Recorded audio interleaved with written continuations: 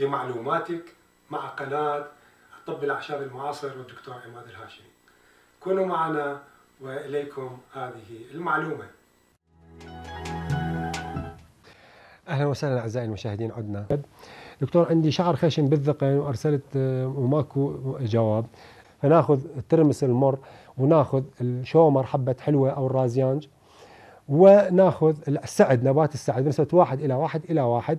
نطحنها نسويها باودر ونعجنها بمي عادي ونزيل الشعر أول شيء بالملقط أو بواسطة شيء ما يقطع الشعر يعني زيله من من البصيلة.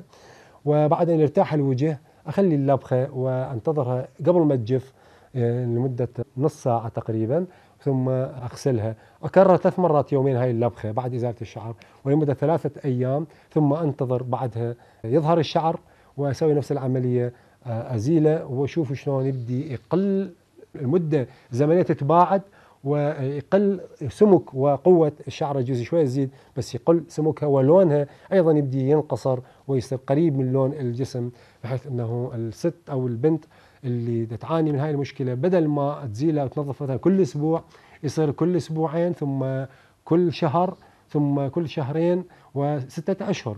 ووصلنا عند بعض الحالات أنه اختفى لمدة سنة عند بعض البنات اللي عندهم الهرمون الأنثوي عالي والهرمون الذكري واطئ جدا.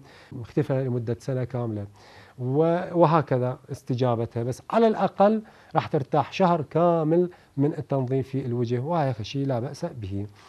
آه، عجينة الشومر والشبنت لإزالة الشعر الخشن تفيد وشلون استعملها نعم هسه إحنا نقول الشومر هو الحبة حلوة. أو الشبنت ممكن يكون أيضا بذر بحده وهي نبات السعد اللي هو ال Cyperus rotundus. وكذلك الترمس الترمس وهذا بذور الترمس المر النباتات المعروفة ينطحن ويستعمل كعجينة وتلبخ على المكونات بعد إزالة الشعر مثل ما ذكرنا. ما هو الشومر؟ الشومر هو الحبة حلوة كما تسمى في بغداد أو الرازيانج كما تسمى في طب العرب القديم أو في الموصل. والاسم العلمي للشومر هو ال Foeniculum vulgare وتسمى ال fennel باللغة الإنجليزية أيضا. وشومر هو شمار في في مناطق الغربية والمناطق الجنوبية.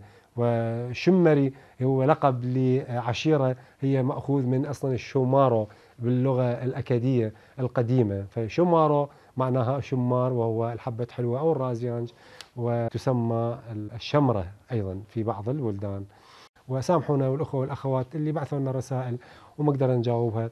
غفر الله لنا ولكم. إلى اللقاء غدا إن شاء الله. السلام عليكم.